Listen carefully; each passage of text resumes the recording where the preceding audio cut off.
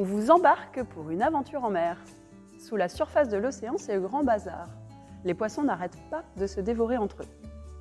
À partir d'un conte polynésien, La guerre des poissons, le Tutito Teatro nous invite à voyager dans une histoire à la fois drôle et facétieuse. C'est un spectacle petit format qui s'adresse aux enfants à partir de 18 mois et qui renforce la proximité avec le comédien.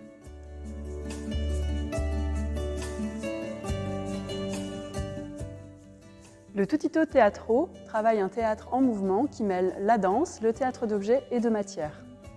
Dans ce spectacle, c'est le costume qui se déploie pour devenir personnage et former les objets du récit.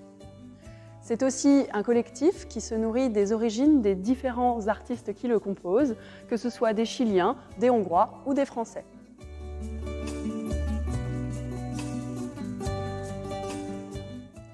Ingénieux et foisonnant, cet univers est en constante évolution, ce qui permet de capter l'attention du tout petit.